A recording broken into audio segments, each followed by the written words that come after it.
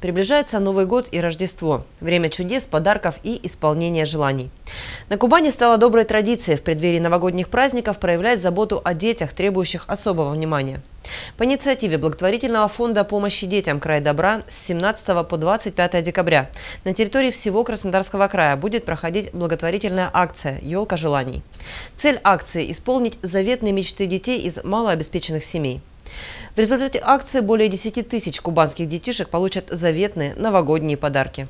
Жители Славянского района также могут присоединиться к краевой благотворительной акции. Уже 17 декабря елки желания установят в торговых центрах «Малыш» и «Золотой ключик», в магазине «Веселая карусель» и Свято-Успенском храме. Каждый из неравнодушных жителей нашего района может сделать доброе дело, приобрести новогодний подарок, который указал ребенок на открытке. Давайте вместе подарим радость детям. Пусть благодаря вам Новый год придет каждому ребенку, и пусть исполнится новогодняя детская мечта. Кроме Кроме того, оказать помощь детям в рамках благотворительной акции можно, опустив денежные средства в бокс «Край добра», а также перечислив деньги на расчетный счет благотворительного фонда «Край добра» в банкомате при помощи пластиковой карты, либо заполнив бланк и сделав перечисление по реквизитам, которые вы сейчас видите на своих экранах. В назначении платежа указать благотворительное пожертвование для ведения уставной деятельности «Елки желаний». Благодарим вас за вашу отзывчивость, доброту и сердечность, за то, что вы не остались в стороне от доброго дела. По вопросам проведения благотворительной акции можно обращаться в Управление социальной защиты населения по телефону 2 41 76